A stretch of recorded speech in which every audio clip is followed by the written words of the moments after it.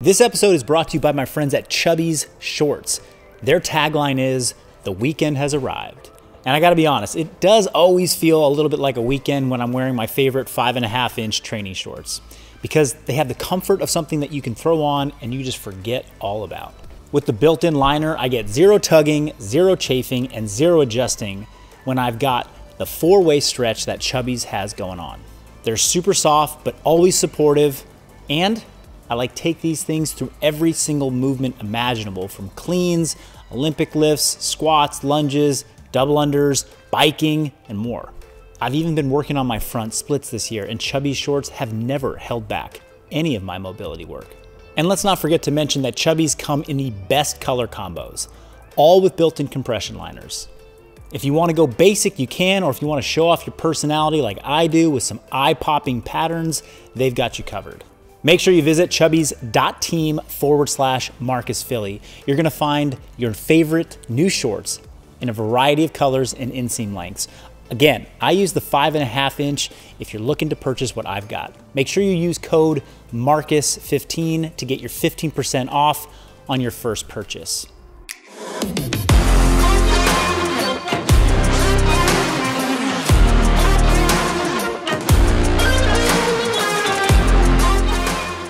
Today, I'm gonna be giving you the breakdown of how I look at the movement, the handstand push-up. But before we dive in, if you've been enjoying this channel and these videos have been providing you value, then please be sure to go hit that like button, subscribe for future videos, and comment below something that has impacted you positively.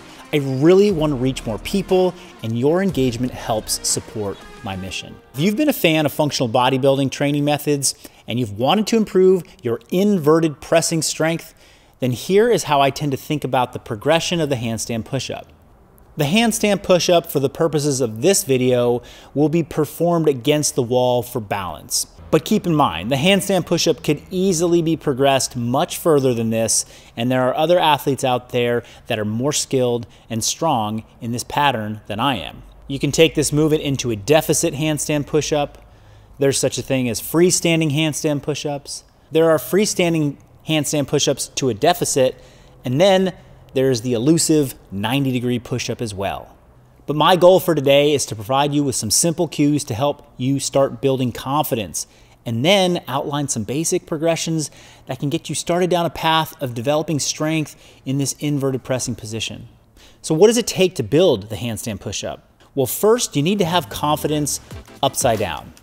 If you aren't used to getting your body into that upside down position, it can definitely be scary to start. I have found that the older you are as an athlete, the more worrisome this becomes.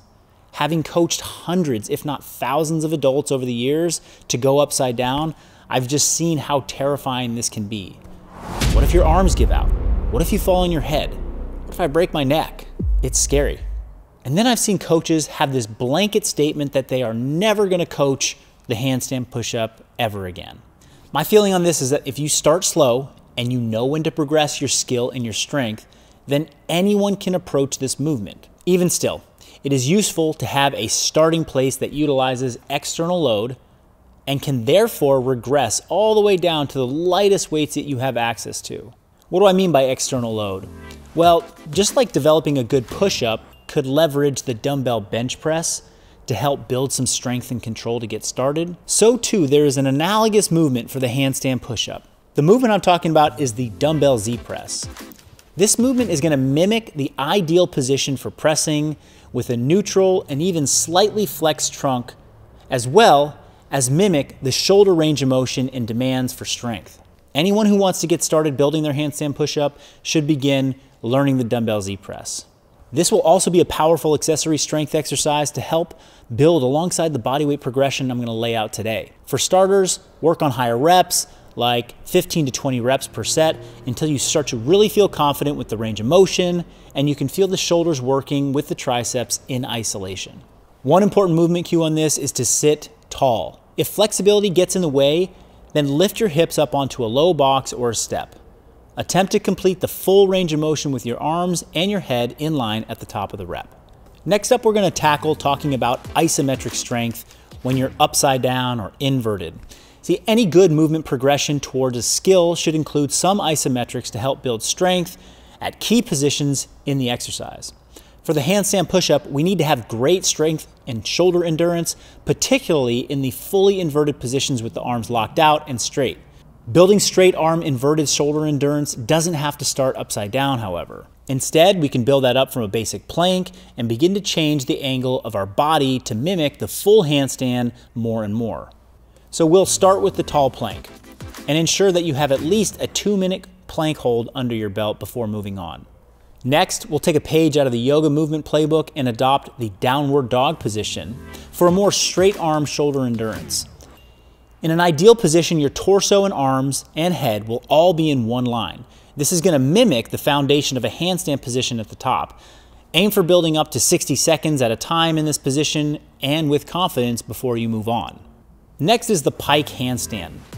From here on out, we are going to simply increase the amount of body weight that you're supporting on your hands.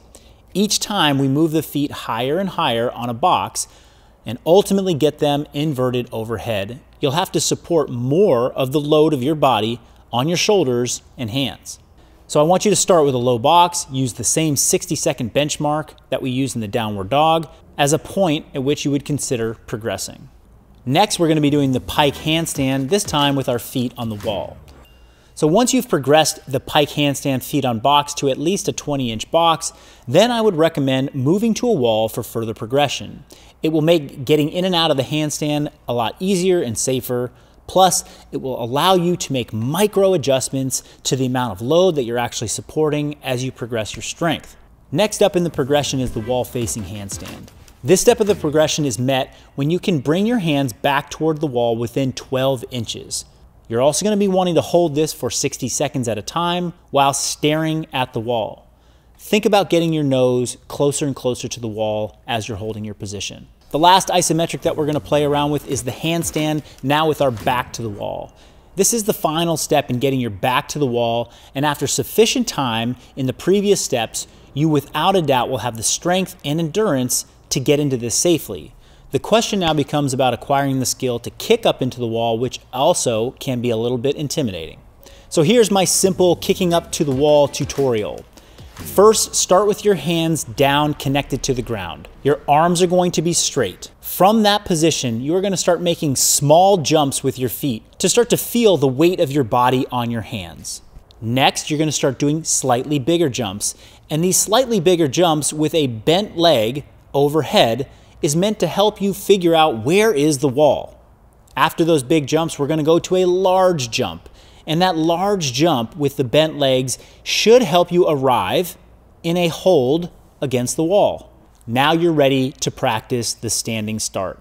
The standing start has arms straight out in front of you. Control your descent down to the ground, connect your hands to the floor, and then, just like you practiced already, kick the feet up into a handstand. Okay, you've got your upside down confidence. You've practiced your isometrics. Now we're gonna work on the motor control and some strength development for the exercise, the handstand push-up. Please don't skip the previous steps. This is where people get into the most trouble with their handstand push-up progressions and can increase their injury risk by progressing too quickly without the necessary endurance and foundational shoulder strength that we practiced before. But once you've done so, then we need to start building up more inverted pressing body position awareness and motor control. This all starts with understanding the basics of how the handstand push-up tripod works and then navigating how to achieve that position. So let's do a tripod lesson. When the head and the hands are both on the floor in the handstand push-up, those three points of contact are in a triangle. This is known as the handstand push-up tripod and we need to learn how to create this position when we're upside down and maybe disoriented. When we get into the tripod position, we properly load the shoulders, which is the big moving muscle group for this pattern, more so than the elbows, which is ideal. If you were to lower yourself with your head directly between your hands in one line, this would place less than ideal stress on the elbows and the shoulders, and you won't have as much control and pressing strength. So to learn this, we're gonna start with the downward dog push-up. You'll start in your downward dog position. You'll lower your head slightly in front of your hands, about six inches in front of your fingertips, and lightly tap your head. On each press back to the top, it's always important to regain the starting position, align the hips, shoulders, and hands with the head between the arms. From there, we can move on to the pike handstand push-up. You can now move your feet slightly up onto a box and repeat the same mechanics. A cue that can help is on the finish position of each repetition, bring your nose back towards the box or bench at the top of each rep. As you build confidence in that pike handstand push-up, you may want to start to add some range of motion as a tool to progress this exercise further without having to take the next step to the wall just yet. This is called the deficit pike handstand push-up. Using some plates or a pair of parallettes can help do the trick. All right, we're ready to move on to a back to wall handstand push-up eccentric. This is the next part of the progression. We're gonna work on lowering strength only. These are called negatives or eccentrics. You're only gonna be performing the lowering phase of each rep. Going down will always be easier than coming back up. And by focusing on this portion of the range of motion exclusively, we're gonna be able to do a lot more reps and build a lot more strength. For the handstand push-up negative, be sure to continue to aim for that tripod position at the bottom. On every single rep, I encourage you to pause at the bottom of the tripod. Then you're gonna kick down off the wall and repeat the cycle from the top. It's really important that you have a soft surface underneath your head for this so that you can feel confident to go down and not hurt yourself. If you need to add a small pad to shorten the range of motion at first, it's okay. Once you've built sufficient strength, then you might want to increase your range of motion. This is called a deficit handstand push-up negative. Never progress to deeper ranges of motion unless you have maximal control through the full negative at the previous height that you were working at. Okay, we have arrived. Now we're gonna be developing strength in the full range of the handstand push-up. Here is the safe strength tempo that I encourage you to use. See, eventually after doing sufficient negative work and practice, you will have the strength to press back up from the bottom of the tripod to the top. When that happens, I encourage you to practice your reps with the specific tempo 3-1-X1. What that means is you're gonna perform every rep with a three second negative, you're gonna pause one second in the tripod. You're gonna press fast up to the top. And then when you get to the top, you're gonna hold that handstand for another second. This tempo is going to reinforce everything that we've already learned from positions to slow eccentrics. It's gonna help you build strength, confidence, and keep you safe. Now that you can perform at least one repetition, perhaps you're gonna start looking for a way to progress.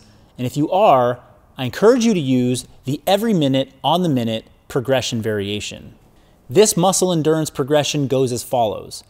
At the beginning of every minute, perform one repetition with the strict 3-1-X1 tempo that I outlined. On the next minute, you're gonna perform a second repetition. On the third minute, you perform your third repetition. So you're performing one rep every minute and go up until you're at 10 minutes.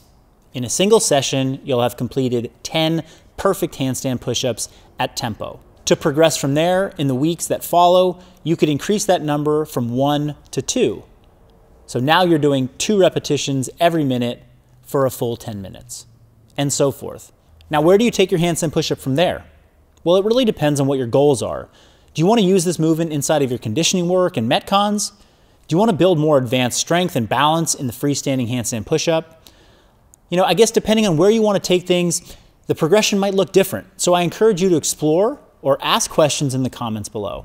Now, I don't want to end this without giving you some of my favorite functional bodybuilding accessory exercises that have great carryover to this handstand progression. So in no particular order, consider adding any of these movements alongside the body weight skill progression that we've outlined already. The first accessory exercise is the yoga push-up. Be sure to keep your elbows close to your side and this will really mimic that tripod position and build a ton of time under tension and endurance to your shoulders. The second I've already mentioned, that's the dumbbell Z press. And as I said, you want to begin with this exercise just to mimic the pressing positions of the handstand push-up, but again, use this alongside your body weight training. You can do this with dumbbells, as I said before, or with a barbell. The third exercise is the standing single arm dumbbell press. I like this press variation as well. It's quite valuable for building unilateral pressing strength. And I approach this one with the mentality that you're going to try and maximize the range of motion on every single press. That means bring that dumbbell all the way down to your chest on every rep. It's going to build great mobility, flexibility, and mid-range strength too when it comes time to do your handstand push-ups. And then lastly, we need tricep accessory work. See, the triceps play a big role in the lockout of the handstand push-up, so it will pay off to train them alongside your handstand push-up training. For that, I like banded pushdowns and I like supine dumbbell tricep extensions. For the banded pushdown, keep the elbows pinned to your side and ensure that you get a full lockout on every single rep. For the supine dumbbell tricep extension, I want you to stop your reps just shy of the top of the range of motion meaning slightly before the arms are at 90 degrees to the floor. What this does is it will keep tension on the triceps throughout the exercise, never allowing them to get a rest. Okay, that concludes today's handstand push-up lesson. If you found this video useful, please drop us a like and a comment below, and any questions or personal experiences that you've had with the handstand push-up. And as always, thank you for lending me your time. I know it's precious and I'm grateful you shared some of it with me today. Take care.